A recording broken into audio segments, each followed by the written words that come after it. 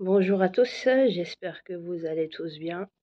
Nous revenons euh, aujourd'hui, euh, notamment en cette matinée, en ayant vu hier et euh, ces jours-ci ce qui se faisait de mieux en France, c'est-à-dire d'avoir rentré carrément, carrément l'IVG dans la Constitution, comme si c'était un droit.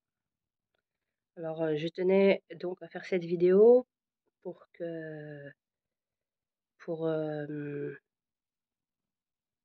pour montrer, mon mécontentement, mais surtout, faire réfléchir un maximum de monde autour de cette question de l'IVG, que l'on considère, je dirais, comme un droit qui n'est pas un droit, mais bien l'aliénation de la femme. Et on ne peut pas être pour l'IVG et être patriote tout simplement parce que faire recours à l'IVG, Qu'est-ce que ça dénonce derrière?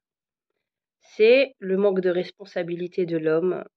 Avant qu'une femme aille se faire euh, euh, avorter, il faudrait que peut-être plus d'hommes prennent leurs responsabilités.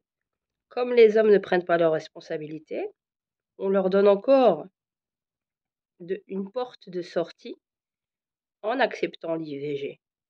Or, il faut éduquer de fond en comble d'abord la société et notamment les hommes à prendre leurs responsabilités.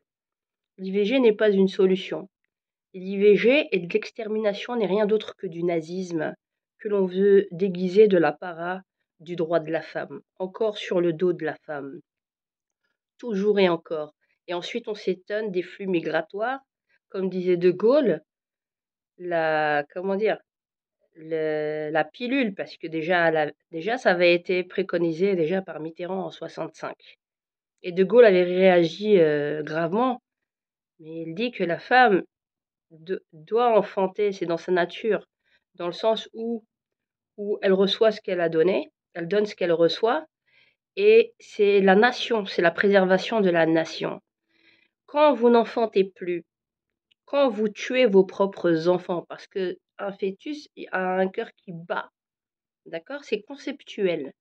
D'abord, c'est comment on donne le statut d'être humain. Comme les Noirs, il fut un temps où on ne leur donnait pas un statut d'être humain pour les rendre esclaves. Comme la femme, on ne lui donnait pas un statut d'être humain pensant à indépendante.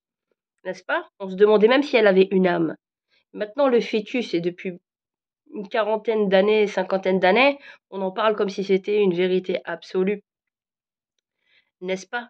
De dire que finalement c'est rien du tout, euh, c'est pas un être humain, euh, n'est-ce pas? Alors qu'il a le cœur qui bat au bout de 30 jours. Donc, dites-moi, l'IVG n'est rien d'autre que du nazisme. Et vous ne pouvez pas être patriote, je vous le dis, patriote et pour la préservation de la France, dans ses valeurs, dans ses valeurs de transmission, dans, dans, dans, l'amour de la patrie, dans la, dans, dans, la solidarité du peuple, si vous avez recours à l'IVG. Parce que parmi vous, qui avez peut-être recours à l'IVG, hein, vous êtes peut-être parmi les plus racistes aussi. Et vous êtes exaspérés du flux migratoire. Mais pourquoi avons-nous des flux migratoires? Si ce n'est parce que ces flux migratoires, eux, enfantent beaucoup plus que vous n'enfantez, avec 2,1 ou 4 enfants par femme. La population étant vieillissante, économiquement parlant, pour pouvoir subvenir à vos retraites, il faut faire tourner la baraque qui s'appelle France.